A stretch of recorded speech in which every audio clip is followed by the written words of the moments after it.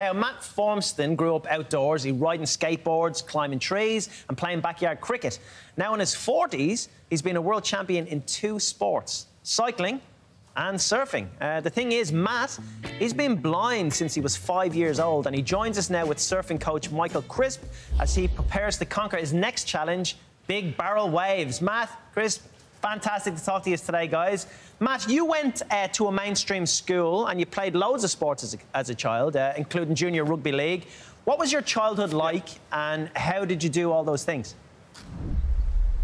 Uh, oh, my childhood was amazing. I grew up in a, uh, on the northern beaches of Sydney, on, a, on the lake and in the water, and it was, it was just all sorts of fun.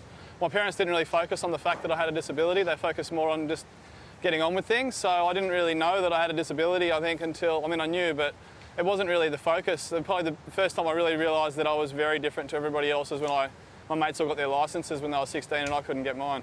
Oh, Matt, I love the fact as well that your dad banned the word can't in um, in your household because you could do anything. Um, and you, you learned to yeah. surf as well. How did you how did you do that?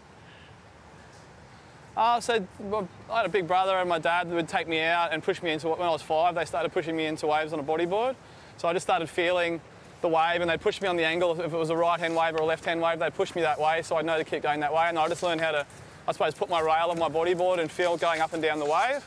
And I did that for about five or six years. And then when I was 11, uh, my brother, yeah, chucked me on a, on a surfboard and I st stood up and yeah, I've been doing it, doing it ever since. So I've been surfing for 30 years now and it's taken me a long time to surf the way I surf now, but I've just learnt different parts of feeling, and um, yeah, that's, that's how I surf. It, it, really is awesome. This story blows my mind. You represented Australia at the Rio Paralympics in, in cycling. Um, what's the story yeah. behind you uh, becoming a cyclist almost by accident? Uh, I did a charity ride in 2009 from Sydney to Melbourne, which I still I believe is still the world record for the longest distance travelled on a single bike for a, a blind person. Um, and, and, I didn't even own a bike in 2009, so I just decided to do this ride with a mate. And through that process, got uh, sort of got noticed by Cycling Australia, and they did some power testing, and my power was sort of off the charts from what they'd seen before. And then, wow. yeah, by 2011, I was riding for Australia, and 2013, I won the World Cup, and 2014, I was a world champion and world record holder. Wait, uh, Matt, what, what type of, um, the reason I'm so baffled by this, what type of fear factor is involved for you in what you're doing? Um, look, I, going back to with Dad, when I was when I was a kid, I, uh, I, we built a house together in the front yard using a circular saw and all sorts of tools like that. And when I do motivational speaking, I, I sort of ask the audience would they let someone with, that's blind use a circular saw, and everyone says no. Uh, But my dad was, and we always talk through risks. I mean, there's obviously a huge amount of risk using a circular saw for a teenager, let alone a blind teenager. But we just talk through everything, and there's a process. So when me and Crispy are out charging big waves, and like we, the, some of the waves we surfed recently are close to 30 foot, like the faces. Jeez. Um, it's it's um, it's all process. So I know I've done that before. I built up. I didn't just start surfing 30 foot waves. I've surfed one foot waves when I was five, and I built it up to you know bigger and bigger and bigger to the point now where we know the process. I know if I'm underwater, my lungs are just the same as anybody else's. Yeah. I, I, can hold my breath for three minutes in a controlled environment. So if, if you think about it, if you break everything down, um, it takes away a lot of risk. So I, everything for me is just breaking things down to understanding what is the real risk. And the real risk for me in those big waves is probably the same as Crispy. Right on. Yeah, let's bring your mate Crispy in. He's actually been um, coaching you. He surfs um, Lennox Head. How tough is that to master that big break, Matt? Um, yeah, how, how is it, Crispy? How's it um, to, to master that break? Oh, definitely. It's one of the best point breaks in Australia and around the world. And yeah, it's tough. Getting out of the car park's hard enough to get a car spot now. But the biggest thing is the rocks, and then when you're out there, you've got to come in. So there's so much risk, and you've got to get a wave in the crowd as well, because participation is so big now in Australia with surfing. How do you know how to avoid the rocks mm. when you can't see?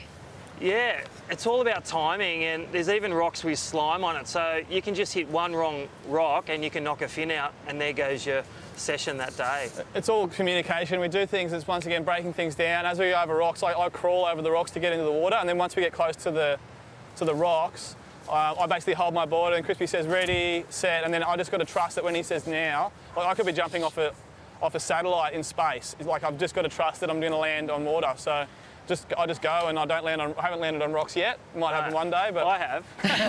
yeah. I've taken one for the team. Yeah, it really is a team Good to sport. see. I, I, it's, it's unbelievable. It really is. Uh, Crispy, Matt's next goal um, is to master big barrel waves.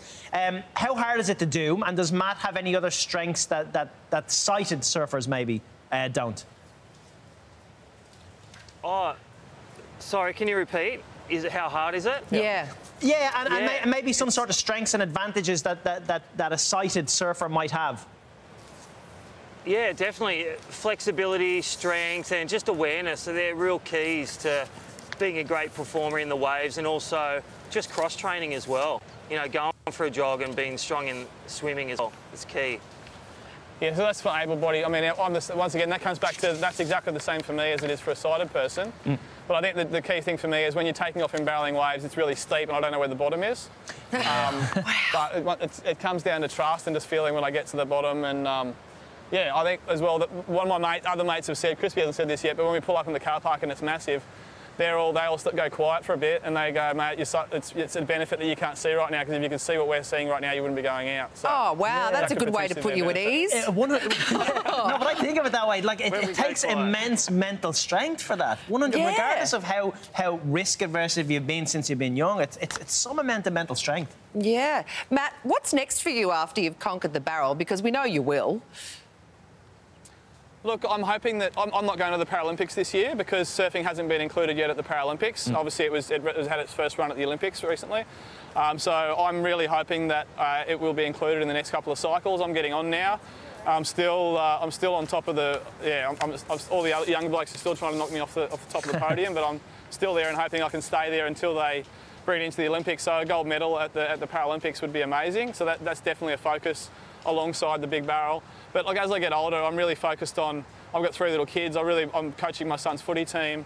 Um, I t- teaching my kids how to surf, and I'm running um, coaching courses for other blind kids and teaching them how to surf. So as much as it's kicking my own go- goals, it's also about helping the next generation and setting them up for success. That, that is awesome. We Yeah, really hope it beco- uh, becomes a, um, a, a staple of the Paralympics. We hope to see you there at it too. I don't understand why it can be in the Olympics and not in the Paralympics. But uh, you can follow Matt's journey on Instagram. Matt and Crispy, thanks so much for joining us, guys. Uh, really is fascinating. I love it.